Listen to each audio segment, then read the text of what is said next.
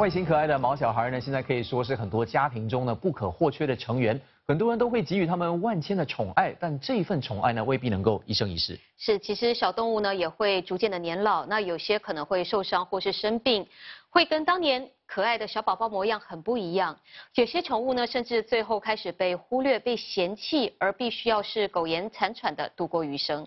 新的系列呢，失宠的宠物，看一些曾被遗忘、身体残缺的小动物呢，如何在新主人的细心照料下找到安稳的家。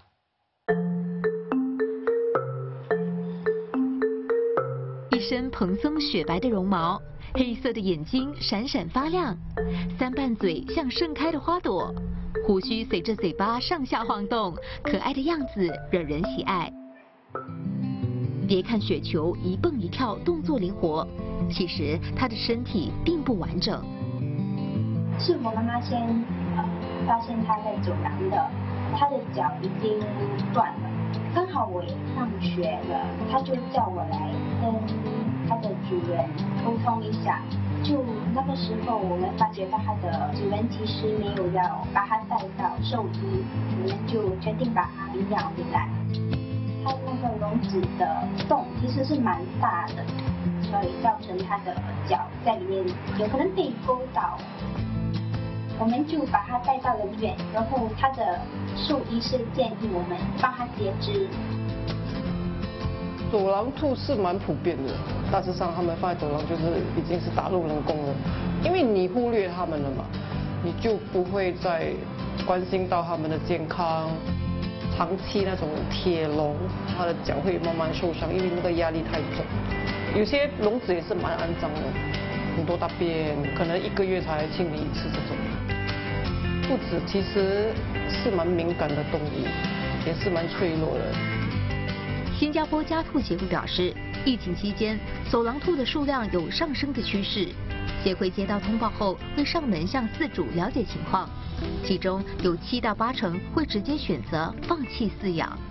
然而，长期的忽略对兔子的心理造成创伤，失去安全感，需要悉心呵护，才能重拾对人类的信任。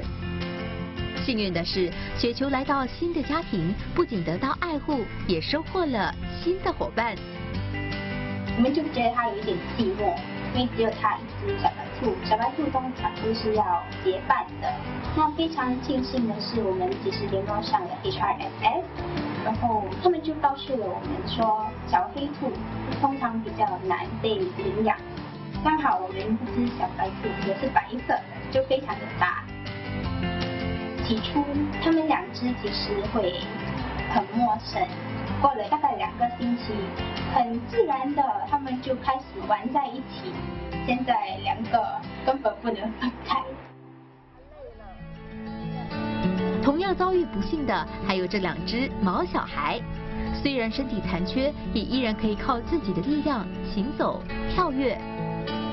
这一只狗它以前是住在工厂里面的，然后他有一个周末的时候，就是他的脚被东西绑得太久，还有太紧，然后那个就医生看到他的时候已经太迟了。